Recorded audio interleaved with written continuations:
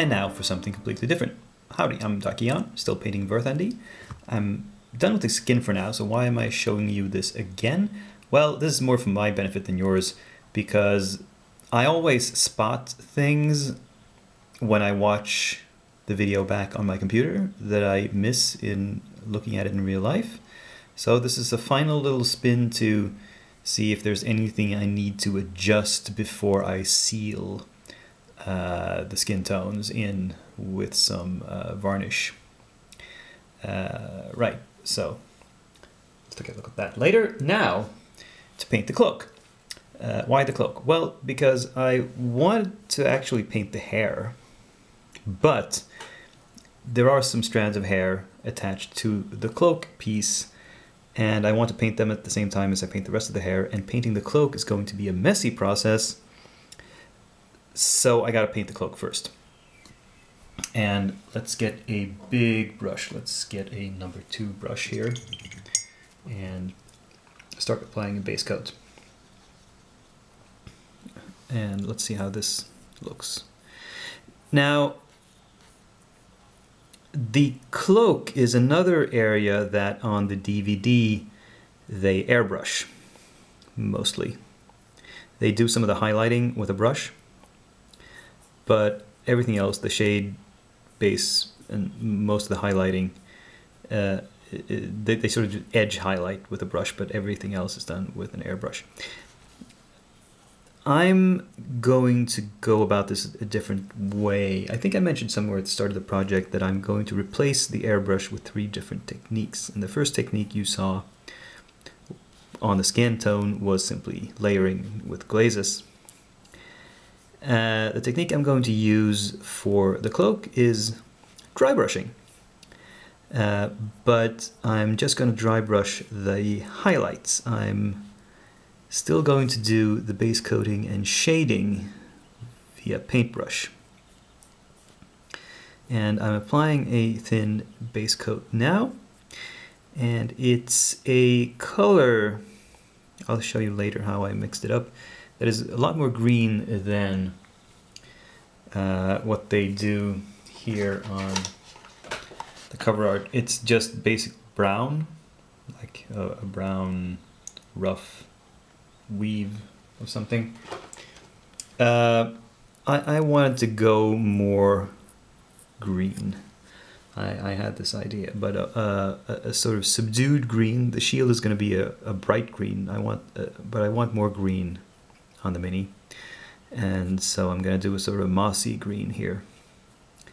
And um, I'll show you in a minute how I mix this color up. I'm, I'm just kind of doing this by ear, by the way, as usual with everything on this model. You're, it's an experiment. I might change it if it doesn't work. So the plan is, as I said, to base coat and shade by brush, uh, by, by normal uh, layering methods, then do most of the highlights by dry brushing and final edge highlights I will paint in very carefully, as same as they did on the video, by, by just precise brushwork.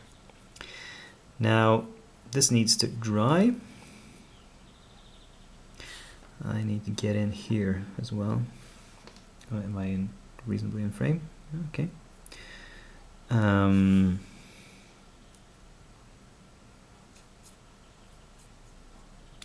this this paint was very wet. It's very thin. Very thin down with water, mainly. A little bit of medium, but mostly water.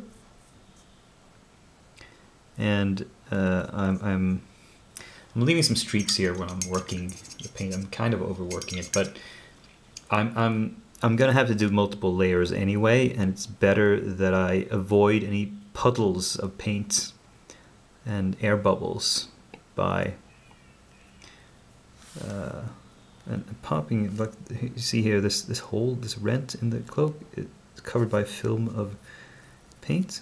I take that out. And yeah, I need to lay this to one side to dry for a moment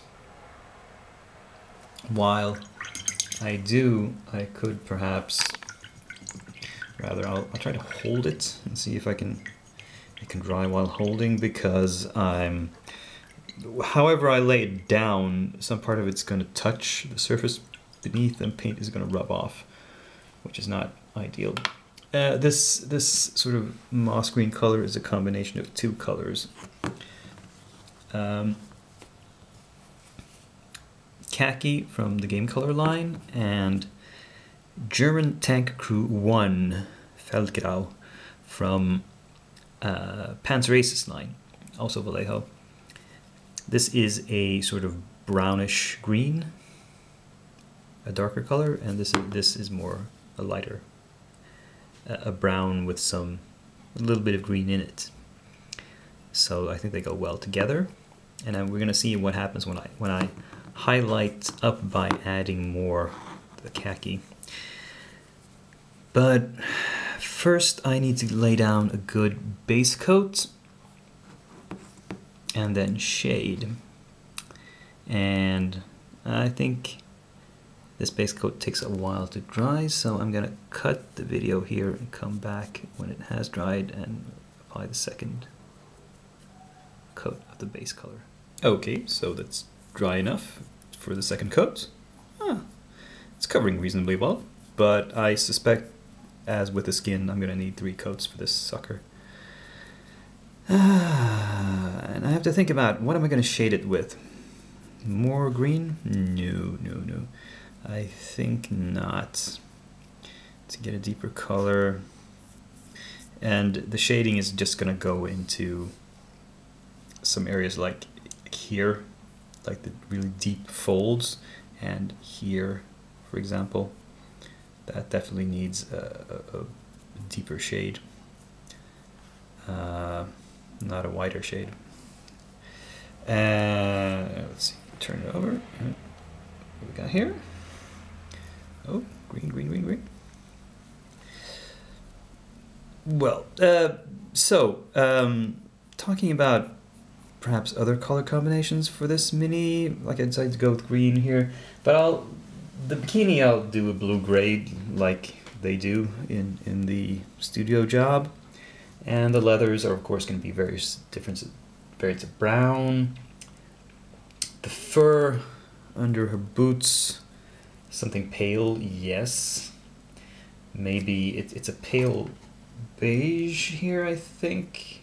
Uh, might go with pale gray instead to sort of have something more that's gray apart from just her uh, the cloth, the clothing. Uh, and the shin guards and the chin and knee guards, uh, the greaves you might say, I'm not really sure what they're supposed to be. If they're supposed to be some sort of leather or if it's metal, sort of non-metallic uh, bronze look. Not sure. It looks too pale for that. I think it's supposed to be some sort of hard cured leather, like Cuir Bouilli. I'll have to think about that color for a while. And there's coat number two, essentially done. But not difficult to do these coats, just pop this hole and I'll cut the camera off for a few minutes to let this dry. See you again. And we're back for coat three, which I hope will be the final one. Uh, yeah. The way it's looking, I don't think it's going to need any more. This is going to be covering enough. And then I just have to think of a mix for the shade that will match it. Uh, yeah, this is fairly smooth, I think. And the underside doesn't need to be that smooth, really. I'm not going to highlight that as much. But portions of it will be showing. Uh, some of it, oh, sorry, I hit the tripod there. Some parts, like the, like this face here or this face will be visible from the side. Down here in the middle of the underside, no, nobody's ever going to see that again. And now my mixture of paint has just run out. What am I going to mix the shade from then? Oh well. We'll think of something. And possible I, I will have to, once I've finished the bottom here, I'm going to have to go back and touch up the top because I keep, you know, my thumb rubs up against the top portion of the cloak here a little bit often. But I'll try to hold it by the underside more. And there it's almost dried already. It was very very thin. Uh, so I'll just pause for a second while that dries and like I said mix up a shade color. Okay so I have a theory about how to shade this. Let's see if it works. Hmm, interesting. That's a darker shade, certainly. And I can sort of mix that up with the normal green.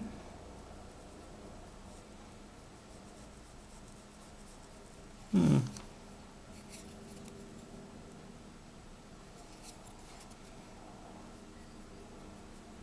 And uh, what I'm doing here is uh, I, I have one of these double-ended brushes and on one end I have the shade color and on the other hand I have some pure uh, German Tank Crew 1 which I use to sort of quickly wet blend in the edges of, of the shading.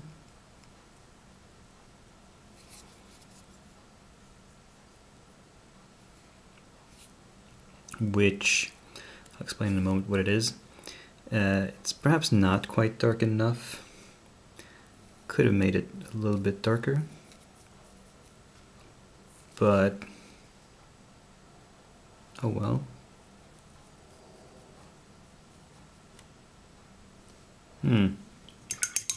Now it's mixed too much and I'm, I'm getting a shade here. That's not good. Oh well. Uh, it you can see it's kind of a brownish tone. It gets that way when you mix brown, a green with red. Uh, that, that's one way of often of getting a shade color is to take your base color and you mix it with a complementary color and the complementary of green is red. And you got to be careful when doing that because you, you can lose the red and just turn it brown. Um, hmm. Well, we'll have to see how I like that once it dries. Um, put that aside and I'll explain just quickly what the colors I used were. Like I said, the, the base tone is this German Tank Crew 1, and I added a very, very dark red, which is also from the Panzer Aces line, which is called Red Tail Light. It's pretty much the same color as black red from the model color range. Um, but, well, since this was a very wet color, I'm going to have to let it dry for a while before I, or you know what, I'm going to make a mix very quickly here, which is more of the red taillights and just a little bit of the green. Let's see how that looks. If that looks more shaded. Add a lot of water. Now let's do some experimenting here, and I would, we'll do it on the underside because that doesn't matter so much.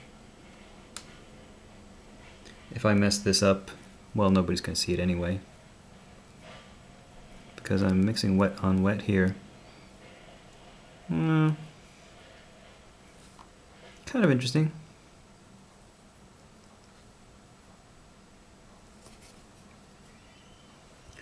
Not sure, but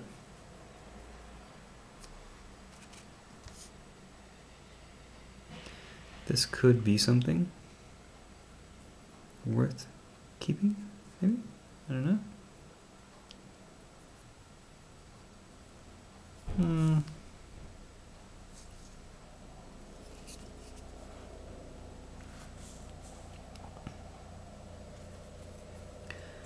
And we want it just in the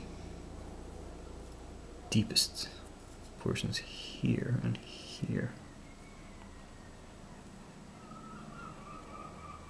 Maybe a little bit underneath there.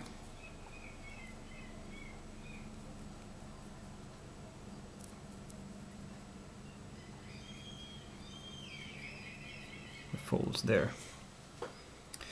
Eh. We'll see, we'll see.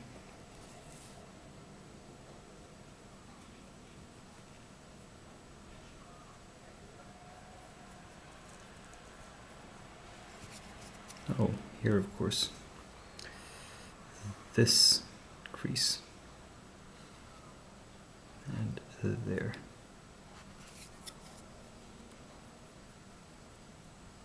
Mix that out.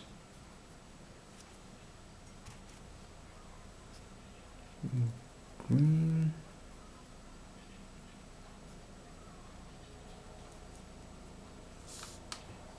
Well, like I said, this is the underside. Um, hmm. Not talking too much because I'm focused on what I'm doing here. Pushing the paint in there.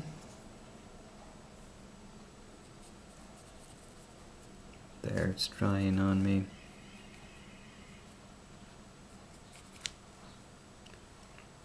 Yeah, I, I think I'll leave that to dry for a few minutes before we come back and decide what we need to do more about this.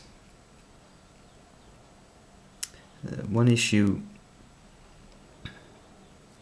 it, a common issue you have with sculpts where, where you have these really sharp edges is that light tends to glint off the edges and it tends to make it look as if the paint had rubbed off and you were seeing bare metal.